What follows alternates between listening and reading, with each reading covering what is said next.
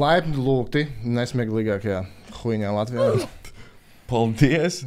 Jā, tā mums raksta tas komentārs. Vienkārši. Jā, paldies, ka raksta komentārus. Un uh, atļaujieties to darīt. Jebkuru stilu mēs nedziksim, ne, nedzēsīsim Jā, jā. ārā. Nē, vēl, vēl uzrakstiet, kas jums nepatīk. Jā, pie manas mammas neviens neraksta.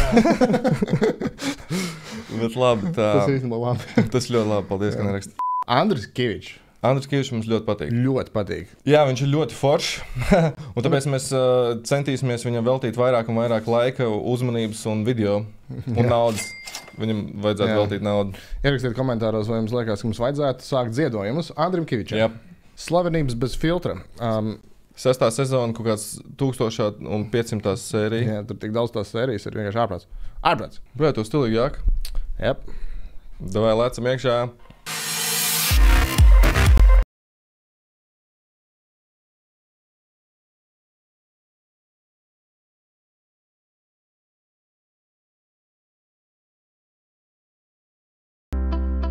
Bām! Wow! Pirmais kadrs. Andris Kavičs nav! Viņš atgriezās uzreiz pirmajā kadrā, varētu nopām, kad saklapējis un beidzās sērija. Tur reāli, what the fuck, viņi tur tikai spēlējās. Uzvilājām foršas kadrus, kā mēs šeit braukājām. jā, jā, mums vēl sīkais aizmugurē, vai es to apdzīšu, kā uz gāja pārējais, ka man pretī brauc autobus. Tas tikai tik forši, man tiesības nevajag. Perfektākais sākums, kāds varēja būt. Tas vēl netālu no manām mājām, ja viņi nosistos, varētu atnākt paskatīties. Ka, oh, shit! Un tas sīkais bija aizmugurē! Wow! Oh, mamma mia! Rīga pārdaugā, ne? Tik īpatnē, ne tik jocīgi. Mūsu krājs. Simts gadus nav būtis. Jā. Es godīgi sakot, nedomāju, ka es vēl kādreiz redzēšu imantu. Tā viņš ir imantā atpakaļ. Nice. Un viņi vēl ne, nav tajā gabalā, kur gandrīz nositās. Ka viņi tikko iebrauc imantā un uzreiz jau atgriezās tas klikšķis. Latvijā. Jā, Latvijā. ir. šovu. Latvijā ir tā kā kaut kāda konstanta, tā kā tā mag magnētiskais tas Lauks. lauks. Tas vienkārši padara stulbāk. Jep, tā ir. Viņi iebrauc tikai imantā, tur ir tā kā stiprākais. Uzreiz rokā kaut kādu glāzi. Es pēc sevis vienkārši zinu. Jā, uzreiz rokās glāzi kaut kādu šķidrumu ar grādiem. Vai, kur tu nafik brauc man te? Ja nu kāds nezina, man sauc Andris Kavičs, esmu latviešu mūziķis. Šī ir mana sieva, apbalvošana skaistā. Britnija Spears. Jā, reāli. Šī ir mans sieva Britnija Kiviča. Es, es tev zinu, vecīt. Vecīt, jā, mēs esam fani. Big fans. Jā, viņš vēl imantā dzīvo, tik, nu, tā kā tu man. Jā, ja mēs viņš atbrauc ciemos. Šeit, pirmkārt, viņš mums piekāpjas, tas būtu stilīgi. jau. Jā, bet no, tu, tu negribētu būt Nu, piekāpts. es kā piekāpjas, pēc tam sadzert, viņu uzfilmēja, kad video būtu nais. Nezinu, Liena Kiviča, tad par tevi kaut ko pateikt. Nu, man vairāk interesē. Plānis par mani gribētu pateikt. Norvēģijā dzīvojot, mēs vispār saņēmām diezgan daudz vēstules par to, ka beigās borings. Nekas Latvijā nenotiek. Brauciet atpakaļ. Apmēram izklaidiet mūs, jā. Ļoti labi. Es tur arī jau kaut kur nodalzīju mašīnu. Jā, šis kofers slavenais jau piedirsts. Nu, Wow. Atgriezās Letiņi no Norvēģijas. Jēbā! Jā, labi, labi, ka cilvēki daudz rakstīja. Kā mēs gaistam, Kā mēs mirdzam, gaistām. mirdzam. Jā, Bet ko es varu pateikt, arī viena nianse, kas man pārsteidz, tad, kad mēs aizbraucām uz Norvēģiju. Uh, seši cilvēki man uzrakstīja, kur tad ir palicis no Buļbuļsaktas experience YouTube kanāls. Uh, kur tad vispār jūs esat palikuši? Seši Vai, cilvēki. vai, tad tikai seši cilvēki viņam rakstīja. Viņš tikai teica, ka tik daudz rakstīja, brauc atpakaļ. Viņi ļoti labi sagriezt šo sižetu. Bet jā, no bullshit experience atcerieties Tā, tādu. bija labs. Pačikojot aiziet YouTube, mēs tā kā nav sponsors, bet uh, Jā, tur Rīga Flow bija sponsors. tur Kivičs ir vadītājs, viņš intervē cilvēks. Jā, uzreiz varam, ja jums neinteresē, baigs skatīties, uzreiz var pateikt, ka Kīvičs ir statistikas čels. Viņš par statistikas zina visu. Viņš, viņš uh, adekvāts. Tie kā mašīnā un tu atbrauc uz Rīgu. Mēs dzīvojām trīs dienas elefantu hotelī. Un viss šīs trīs dienas vienkārši meklējām, kur tad dzīvot. Ko, ko, ko, ko, ko, ko, vai ne, ko, ko mēs varētu īrēt. Bet mums nospīdēja ļoti patīk šis dzīvoklis, viņš ir 50 kvadrātmetrus liels, balts sienas, balts griezti, pelēks laminēts. Tumšs mēbeles, izbaigts forši. Jā, Mums pārāk daudz mantu nav. Jā. Pirms mēs devāmies uz Norvēģiju, mēs ļoti daudz atvadījāmies no lietām, atdevām prom. Jo mēs sapratām, ka tas viss nav vajadzīgs un jādod ir vecā dzīve, vecās lietas prom. Nē, viņi varētu Andrei dot kādam Ko viņi to veco lietu. Hmm, smieklīgi. Labi. Mums sākt jaunu dzīvi. Jā, bet ko viņi tur atdeva? Jau kaut kas, kas tas ir šņābi, tur šampaniet. Salauzis ģitārs. Tur vecos šos te. Džips. Atdeva. bet, bet arī smieklīgi, kā viņi pāris minūtēs vai sekundēs varēja izkrāmēt tās koferu un ģitāras. Jā, un jau plautiņi iekārtot ar to koferu. Tāds sajūta, ka viņi fake one. bija ātri ļoti. Runājot par mūsu attiecībām, mēs faktiski nekur ne, neatbilstam nekādiem kaut kādiem standartiem, nekādiem kaut kādiem, ka tur vīrietis brauc makšķerēt ar draugiem un sieva tur kaut ko ar draudzenēm. Nu, Mēs esam- atpūšamies kopā mēs esam, tikai jā, un vienīgi. mēs esam labākie draugi. Viens otram un man prātā. Un mīļākie. Ja domājat, ka viņam nājas, viņi ir labākie draugi un vēl kopā guļ. Oh, Un vēl wow. cik krūti būt labākiem draugiem. Mm, Jā, tik grūti. Jā, tas nice. Rīdīgs. Nice. Jā, blē, blē, tu pizdiedot tagad. Mums ir arī vanna. Un, ja ir vanna, tas nozīmē tikai vienu, kad agri vai vēl viņā tiks ieiets. Tie, kas nezināja man kā mūziķi, ka man ir 11 albumi un tā tālāk, un 3 grāmatas, tie uzzināja uh, par uh, Kaviču, nu, ka tas ir tas, uh, nu, tas idiots, kas iegāja vannā. Ja? Un, uh, vispār Vānas stāsts ir interesants ar to, tas bija absolūti spontāns uh, gājiens un kārtējo reizi dzīvē pierādās, jo viegliprātīgāk, jo vieglāk, jo uh, ķipa prikols, jo lielāks ārprāts un rezonants būs. Ja? Šī raidījumā mēs iesim vannā. To nezina pat Dievs debesīs, ticiet man, uz doto brīdi. Nu, tie, kas nezina, tad uh, mēs ar Lienu bijām kopā vannā, Facebook tiešraidē. Mums vēl joprojām pagaid, viņam šeit ir manā. Nu, jā. Viņš dirž manā. A, ko tu, a, kāds Tur ir padirž, notīr. Ne? Kāpēc notīri? Nu, Sasmērēt. tur. sasmērējies vairāk. Tā, tā, tā, tā. Nu, vienkārši mēs iedzērām šampāni, iegājām vannā, esot jau vannā, pieņēmām lēmumu nospiest Facebookā podziņu laivu, aprunāties ar cilvēkiem. Ja? Eh, Es vannā nekad neesmu gājis um, apakšbiksēs, un arī toreiz es nebiju apakšbiksēs. Un tad Liena pa, uz priekšu uh, pasniedzās uzgriezt karstu ūdeni, un es biju redzams pilnīgi kails kaut kādu brīdi. Kas man ir jāpiemet šajā kontekstā? Uh, Es nezinu, kādam maniekam ir jābūt cilvēkam, jo tiešraidi ilga divas stundas. Bet kāds manieks ņēma un izgrieza šīs sešas sekundes. Un, um, no tā brīža apmēram ir tā, ka es gāju vanā visai Latvijai atrādīt um, uh, debesu zvanus, ja, kas īstenībā tā nebija domāts. Is it getting better? Or do you feel the same? Well, let's make it easier on you now. You've got someone to blame.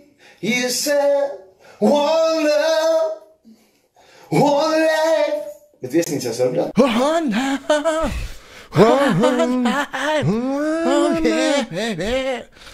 Bet viesnīcās var braukt. Nezinu, bet tas tur aplīdz baigi mazais tāds izlūrotais. Vai maz blūro? Kurš blūro? Kurš izrāda filmē? Ā, tur neviens Kurš nebija. manieks blūro? Kurš Kurš manieks vispār to blūro? Bet, bet reāli gan jau viņš pats arī izgriezts. Reāli. Kā, kā var pirmkārt iet vannā, nefilmēt sev? Tas- Otrkārt, nafīgi. Nafīgi filmēt.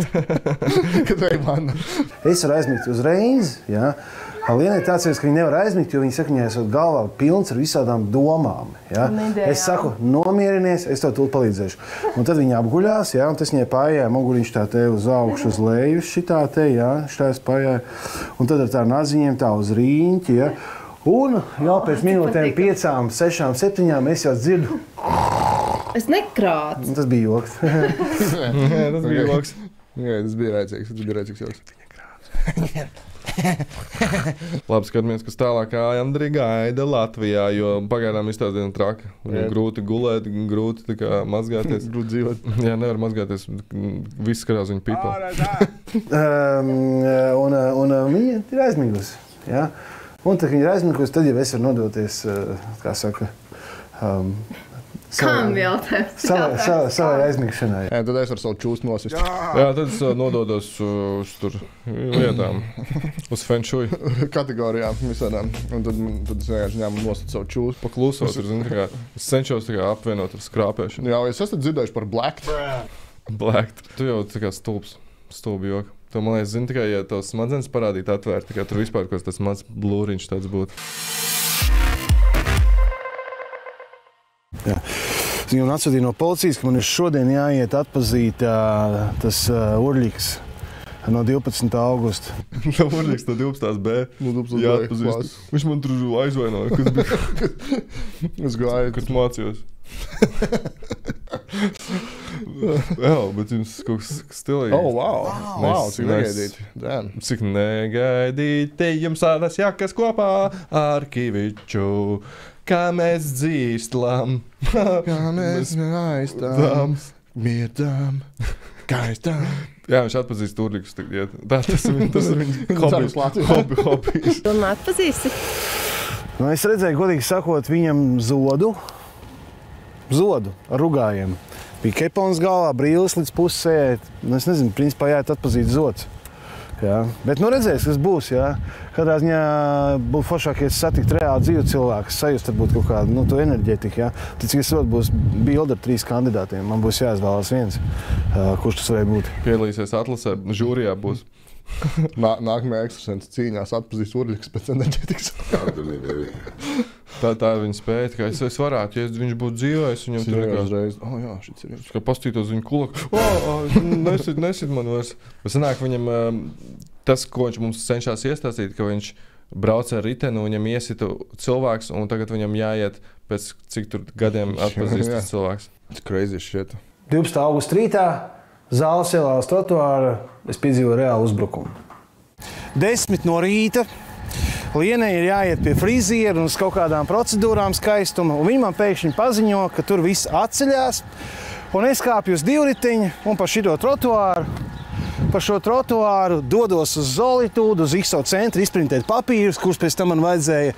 Pēc Zolītūdē tos papīrus izprintējot, es saprotu, ka es aizmirsu mājās flešku un braucu atpakaļ uz māmas māju, tātad eh, pa šo trotuāru. Neviens pasaulē nevarēja zināt, ka es esmu uz riteņa. Jo tas bija momentāli spontāns lēmums no rīta, ka es kāpšu uz riteņa un būšu Zeltūdē. Un neviens nevarēja zināt, ka es no Zeltūdas IKSO centra pa šo trotuāru braukšu šeit atpakaļ. Eh, Vai nu cilvēkam ir mans telefons ar manu GPS, mans telefons tiek izsakots, jo viņi zina, ka es pa šo ielu braukšu ar riteni.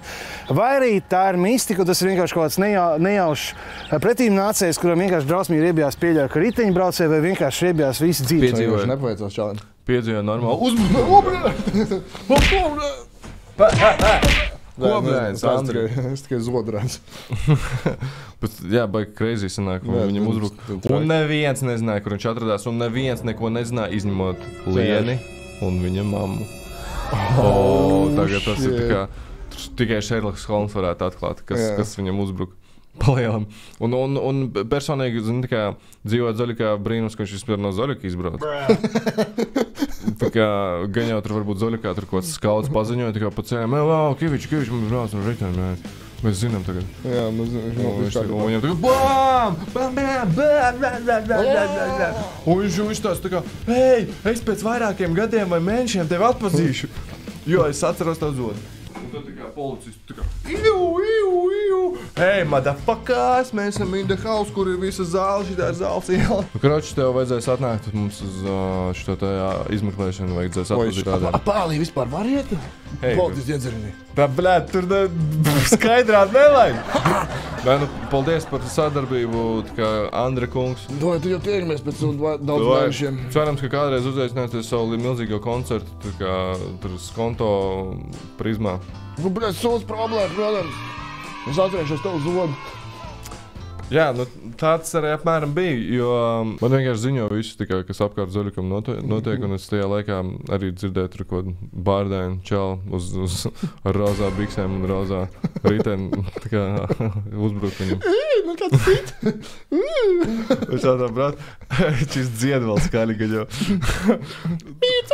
Kā es smirdzu, kā es gaisu. Bam, bam. Kurš uzbruka Kavičam? Jā, Viņš riteni. brauc ar riteni no zoļa. Un neviens to nezināja. Es nezināju, viņš brauks ar riteni. Ja kāds būtu zinājis, varam tur viņš novērst.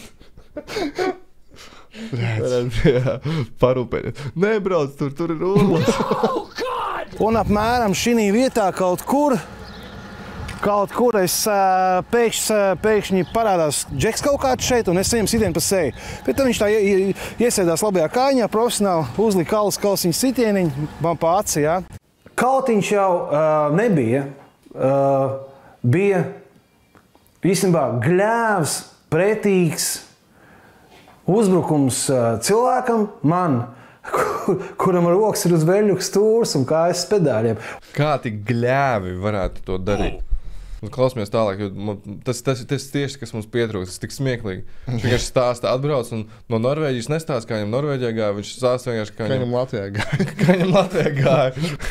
Viņš ir riteni brauc. Viņam uzbruka. Nu, viņam uzbruka. Uh, tas Tik smieklīgi. ļāva vēl pēc tam. Šausmīgi. Protams, viņš nebūs riteni. Tam Es- čālam būtu pizdībis. Paldies, paldies. Paldies, fan. Esmu fans, Karoči. Zini? Fans. Zinu, fans, jā. Un starp citu, kas ir interesanti, šis, uzdevums, um, šis uzbrukums varēja izdoties tikai man esot uz velosipēda. Kas vēl ir jocīgi ar šo gadījumu? Tas, ka šī vietā jā, es tātad saņemu sitienu.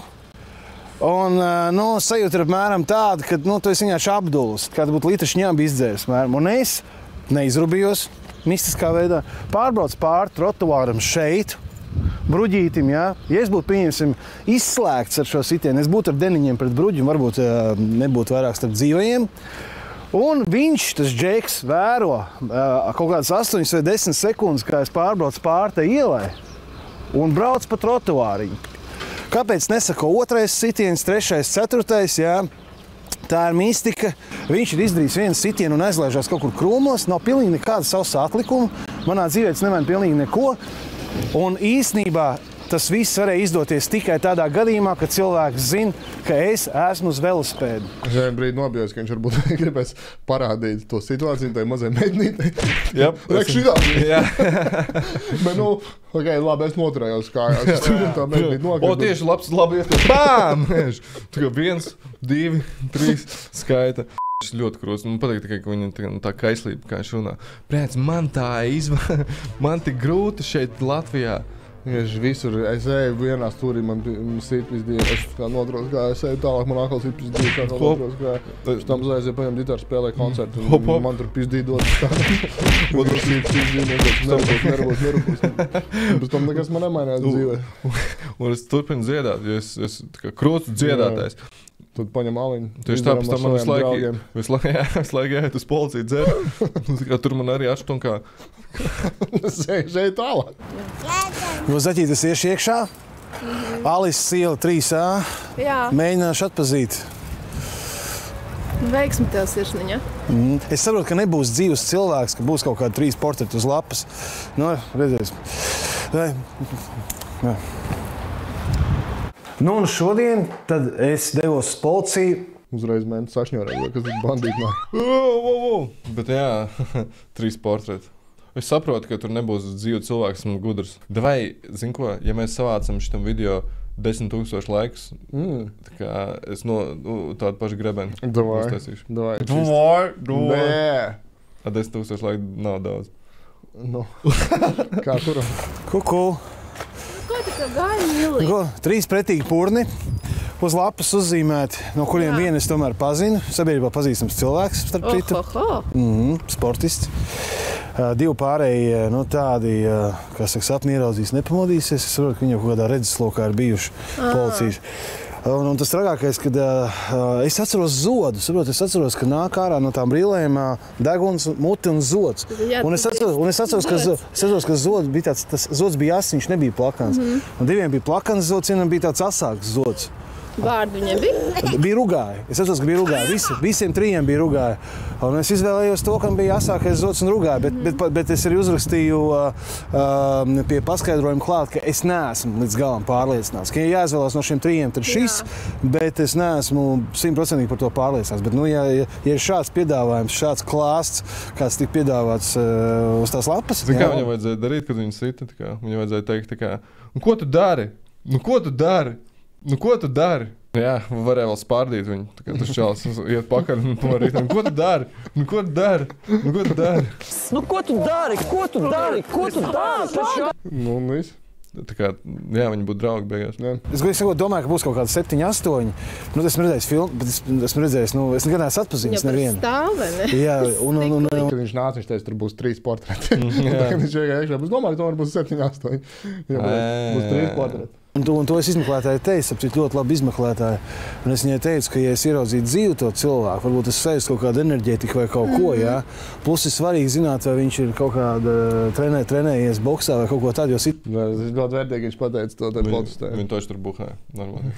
Zinu, es viņam pateikšu. Jā, ja būtu bijis dzīves cilvēks, tas vienkārši paļamo. Viņš tā policistam tā. Tu man toši nesit. Jo man ir enerģija.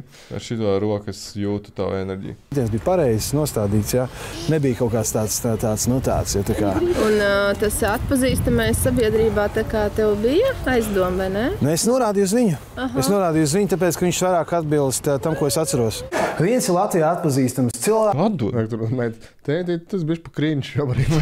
Beidz apkaunot mani kameras priekšā. Jā, es vēl, Man vēl skolā jāiet, man tikai bērngāžā apsmēja. jā, kā kīči. Un Kīvs gan, viņi dod, dod, ne, man Tu jau. man jau. Jā, mēs varam braukt mājās. Jā, kāpēc mēs šeit stāvam? Pa mentu nemazāmies. Kad mūsu ir tā kā vilā. No, tā nedrīkst, laikam, teikt. Cilvēki man nošaus nākamais mēnesis, kas man redzēs. Un manā gadījumā traki ir tas, ka es arī varu nosist nejauši. Man spēka ir daudz, un ja man uz ielas būs saķeršanās ar kādu, es jau nezinu, ar ko man ir saķeršanās. Bet viņš zina, ka tas ir Kavičs. Un, ja, piemēram, viņam kaut kas neizdodas, bet es bišķiņu pārcenšos, es varu iet un sēdēt desmit gadus. Nav nekas stulbāks par kautiņu uz ielas. Nē, es redzu, mums tā patīk par pa Kīviču runāt. Mēs varam vienkārši runāt, laikam, Par Kīviču. Tā kā stilīgi, ka viņš atgriezās Latvijā. Viņš tā bija. varbūt viņš izglābs Latvijas šo biznesu. Jā, lai dzīvo sveiks. Un um, nākamajā sērijā viņi gatavos ļoti krūtu augsto zupu. Tas sanāk 6. sezonas 60. sērijā. Tas tā kā nav reklāma. Vienkārši pasakot, ka priekšā mēs varbūt viņu netaisīsim, varbūt taisīsim. Lielas paldies memberiem, visiem, kas mūs atbalsta. Tas ir tikai ļoti svarīgi mums. Un, uh, un uh, gaidat, ka mēs uh, taisīsim vēl video. mēs šeit būsim ļoti ilgu laiku līdz, līdz vismaz pusdeviņiem. Dāvāj, čau, čau!